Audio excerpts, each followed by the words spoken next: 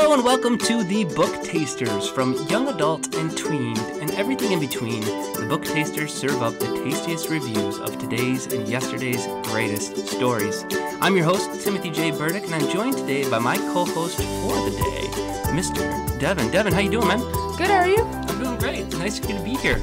Oh yeah, it's fun. I'm excited. hmm So you came and you had a couple facts ready for us today, right? Yeah. Why don't you give us a start off? What are some interesting facts that we should know about? Uh, did you know that on August 17, 1957, a lady attending a Philadelphia Phillies game was struck by two foul balls in a row on two consecutive pitches? On two consecutive pitches. Yeah. That lady should have gotten a lottery ticket and definitely should have stayed out of a storm because if she would have gotten struck by lightning two times consecutively, she probably wouldn't visit any more baseball games, would Yeah. she?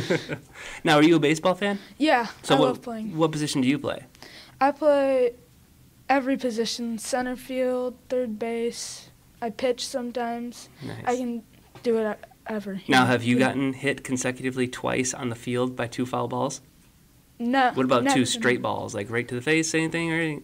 Um, no. Okay, good. really. Yeah. I got hit in the face when I was in Little League, and I only played one year of Little League for that reason. I did not want to get hit in the face again. All right, let's go on to fact number two. This one I got, all right? uh, Did you know that the Eiffel Tower can be 15 centimeters taller in the summer? wow. Why do you think that is? I have no clue. Do you think it eats its vegetables and drinks its milk? a lot of it.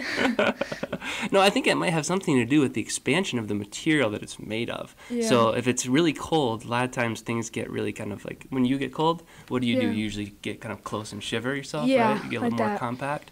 But when you, you know, it's summertime, you usually get a little bit wider and bigger and stronger and taller. I bet you you get about 15 centimeters taller every summer too. Yeah, that would be awesome. All right, got another one for me? Um, yeah. Did you know that in 30 BC, turkeys were treated like gods? Whoa, so like a turkey god? Yeah. Interesting. So like would Thanksgiving then be the biggest day of the year for them? Yeah, probably. I would assume. Well, then they'd have to kill their own gods. Wow, that Yeah. would be. Hmm.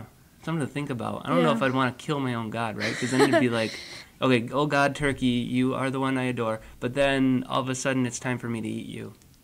yeah, that would be. A travesty, right? Yeah. Well, it's a good thing that we conquered that god and now we're actually eating him because I, for one, love Thanksgiving. What's your Yeah. favorite thing to eat at Thanksgiving? Oh, I I love turkey. That's awesome. And I like my grandma makes this Jello. It's super tasty. I like that a Nice. lot. Now, does your grandma make the jello with actual fruit inside the jello? Or is, Yeah. Yeah, okay. Yeah, that's Yeah, yummy. I like that stuff too. Yeah. Sweet. All right, I got another one for you. In a room of 23 people, two of them may share the same birthday. In fact, there is a 50 50 chance of that happening. Wow, that Mm-hmm. is crazy. Yeah, math is so weird. I, I, I know. sometimes the mystery of numbers and the things that come out of numbers are really quite astonishing to me. Yeah.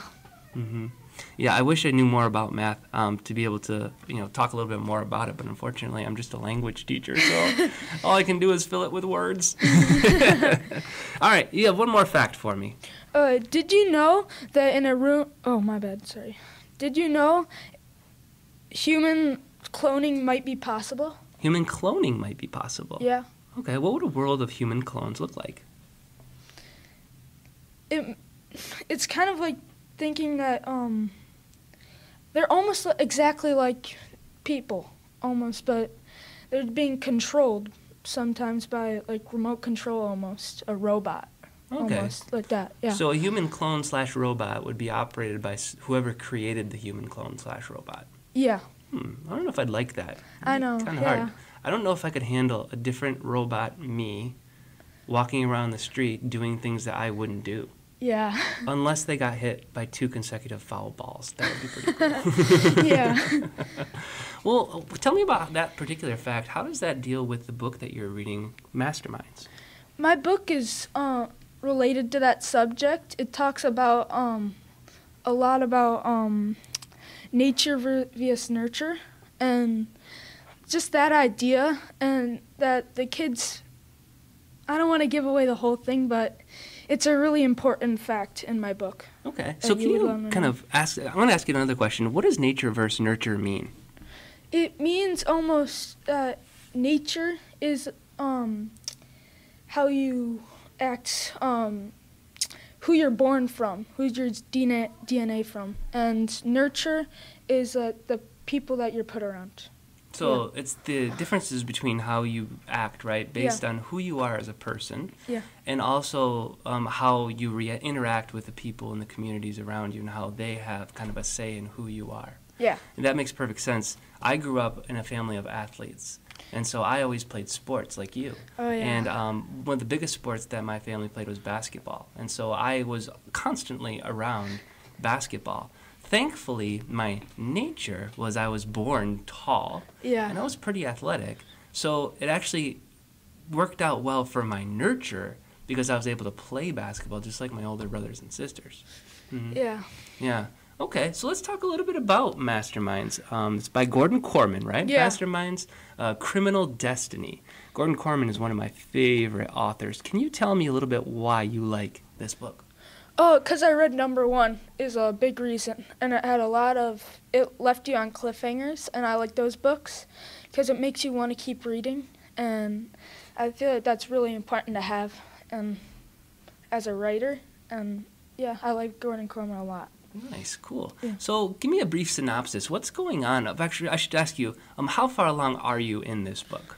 About a little over halfway. Okay, that's a perfect point. So you don't know what's going to happen in the end, but Yeah. you can kind of have an idea. Why don't you give us a quick, a quick uh, synopsis of what's been going on in your book thus far?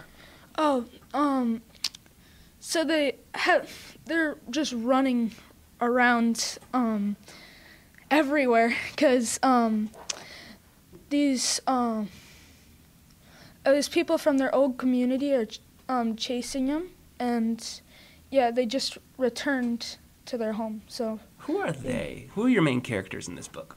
Amber, Eli's the main character, Eli Frieden, and Tori, Amber, and Malik. And do you want me to tell a little about their personalities? Yes, please do. I would love Oh. that. Okay. So Malik is the one that they all say fits to the outside world the best because he he's kind of like one of those poker players. He so he's rough, he'll pick fights and yeah, he's just a good person to have if it comes to that opportunity. Yeah, and Eli is like the computer genius. He looks up everything, looks up the best ways, and that's really him. Amber's kind of the one that uh, likes dresses, has a goal weight. She's always makes lists on what she's doing, and that's really her personality. Tori loves art, and that's really important to Tori. And he actually just returned to her art studio.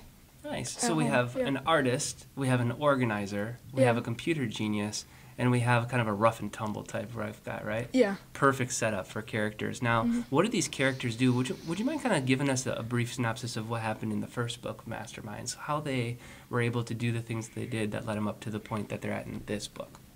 Um, well, I don't want to give it all away because there's a big spoiler that I could give, and I don't want to do that.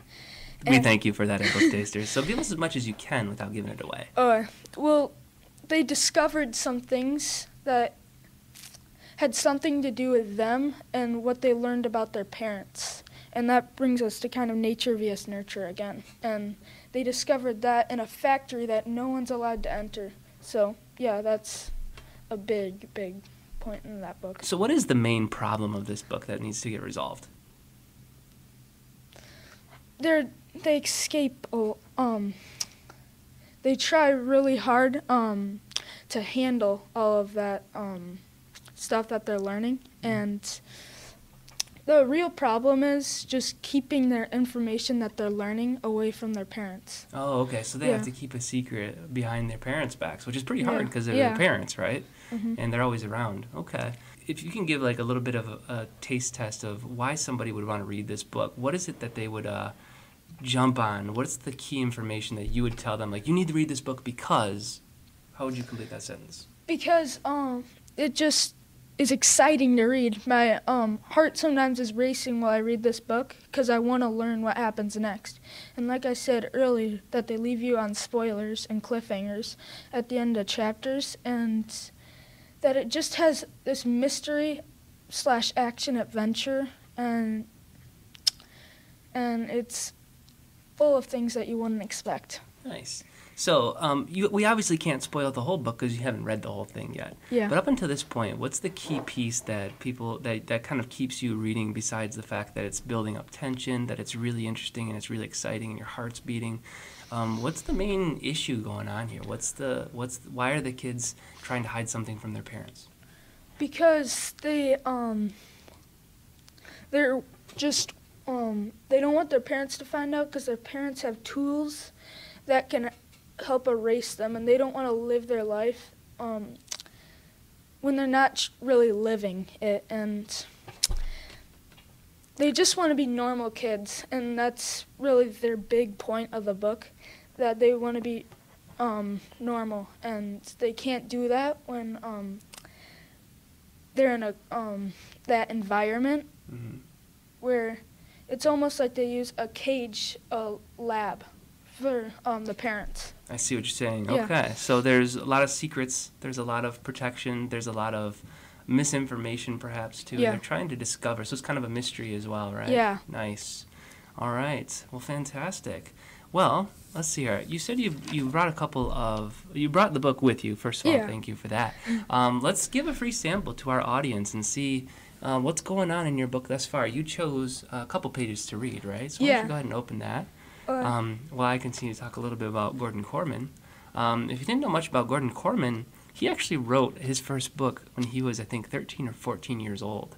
And it got uh, published by Scholastic when he was very young. It was a project that he took on when he was in seventh grade. And so he's been a published author for a very long time, ever since he was pretty close to your age, which is yeah. really cool when you think about how talented you must be to be able to write a book Yeah. when you're that young, right? Yeah. Well, let's figure out um, what's going on in Masterminds. Go for it.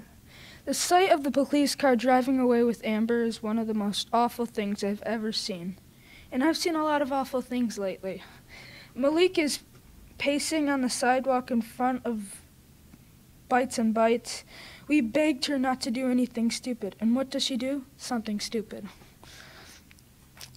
You can't blame her, I defend my best friend. None of us understand how things work in the outside world which is why it makes sense not to do anything, Malik insists. But that's not good enough for Alaska. She knows better. Eli takes off down the block in a futile attempt to keep up with the car. His desperation triggers the same response in Malik and me.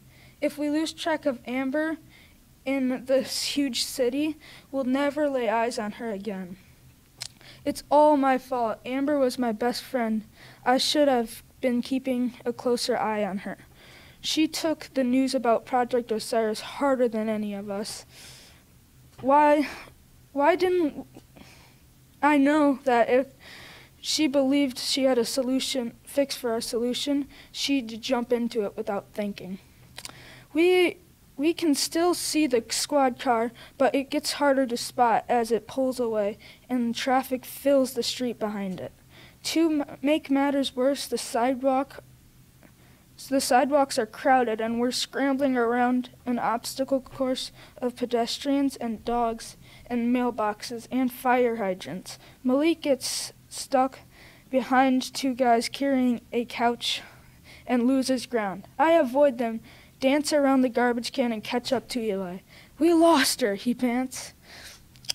Not me. I've trained myself to notice details other people miss. Back when I thought my future would be a artist, not a fugitive. The police car is distant, but I've got it in my sight. It's sandwiched between an SUV and a city bus. Lacking the breath for verbal answer, I point. We're just about to blast through the next intersection when intersection when a big semi lumbers right out in front of us. Eli and I practically run onto it, into it, but manage to pull up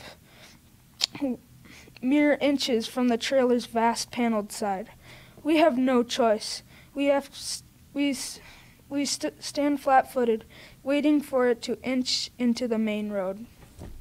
Wow, that is definitely getting my heart pitter pattering. That's a fantastic piece you chose. Now, why did you choose that particular piece? Because I feel like it shows a little of, like, you saw Malik and Amber, their traits, and and it gives us a little of how much spoilers they leave us in. And that you want to keep reading. Yeah, I couldn't agree more. I actually want to go to the library and actually take that book out right now and just continue right where you're at. I don't even need the beginning. I just need to figure out what's going to happen at that sto- at that at that piece, right? If they're going to catch the police officer, Yeah. truck car, and everything. Wow, that's an amazing piece. Thank you so much. Well, Devin, Um, thanks for stopping by and talking to us about your book, Masterminds by Gordon Korman. Um, would you say you would highly recommend that book? Yes, it's one of the best I've ever read. Fantastic. Well, thank you so much for listening to this episode of The Book Tasters. I am your host, Timothy J. Burdick, and you can find us at thebooktasters.com. That's T H E B O O K. I think I added an extra O there. B O O K T A S T E R S.com. And there you'll find our social media links. Uh, we are on YouTube. We're also on all your podcast players that you can think of. Um, and you can also catch me on, uh Twitter and, of course, on Instagram at Timothy J. Burdick. Uh, thank you again, Devin, for, for stopping by. We really appreciate your interpretation of Masterminds. Thank you for sharing that book with us. It is definitely something that you need to get out and grab today.